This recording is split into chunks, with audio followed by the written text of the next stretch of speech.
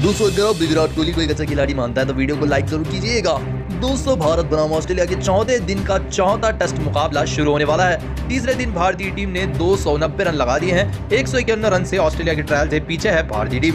दोस्तों मैदान पर थे भारतीय टीम के सबसे बेहतरीन बल्लेबाज विराट कोहली। दोस्तों, भारतीय टीम को ऑस्ट्रेलिया के अभी एक रन पूरे करने हैं, उसके बाद लीड देनी है और भारतीय टीम के तीन विकेट गिर चुके हैं। सार जाडेजा और विराट कोहली अच्छी बल्लेबाजी कर रहे हैं। बात करें ऑस्ट्रेलिया की तो गेंदबाजी ज़्यादा बेहतरीन नहीं हो रही है। भारतीय टीम के बल्लेबाज मौका ही नहीं दे रहे हैं ऑस्ट्रेलिया को एक भी विकेट निकालने का, क्योंकि इसे स्मार्ट बैटिंग कहा जाता है, जहाँ बल्लेबाज बड़े शॉटों की जगह सिंगल डबल में डील कर ज़्यादा रन निकाल सकता है। और इस बार विराट कोहली ने भी वही चीज़ की दोस्तों विराट कोहली ने उनसाठ रनों की शानदार पारी खेली है। तीसरे दिन के अंत तक और चौथे दिन भी उनसाठ रनों की पारी को शतक में बदलने की पूरी कोशिश करेंगे। और इसी के साथ उम्मीद की जा रही है कि एक और शतक हमें विराट कोहली के बल्ले से देखने को मिले चौथे दिन के सुबह ही।